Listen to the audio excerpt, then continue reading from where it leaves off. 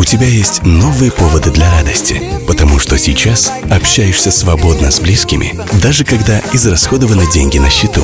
Разговаривай и пользуйся интернетом в кредит до минус 300 лей, без дополнительных расходов. Для всех с абонемент.